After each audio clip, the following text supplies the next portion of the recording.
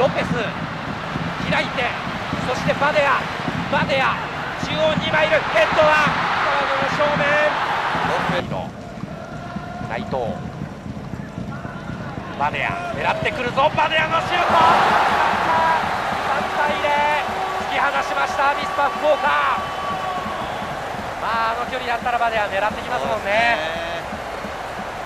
今田坂がですね、はい、その後もうチームメートにもう大声で言ってましたけどね、えー、なんでボールへ行かないんだと、はい、先ほどもその話ちょっとありましたけどもペナルティーエリアの周りでボールにもっと行かなきゃいけないですよね、えー、ちょっとフリーにさせすぎですね。そうですね。3対0です。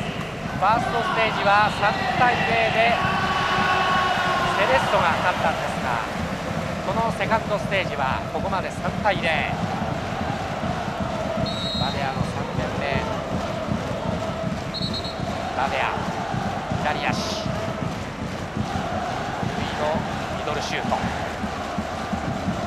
今日はですね、はい、バデアそれと三浦康俊がですね、えー抑え気味なんですよ、はい、あのー、いつもです。ここに返す。クラウよく足を出した。これはまだ狙える。中原横に出してバデアの右足今度はバデア右足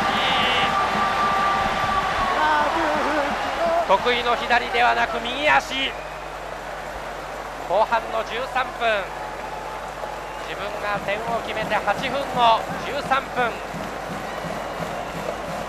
4対0にしましたアビスパ福岡。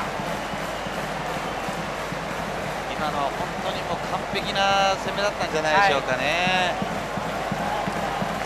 はい、まあ、左サイドでダイレクトで4本ぐらいですかね。そして、まあ、右内藤からの折り返し、はい。まあ、右足で最後ね決めるんですけどね、はい、相手に本当触らせてないですからね。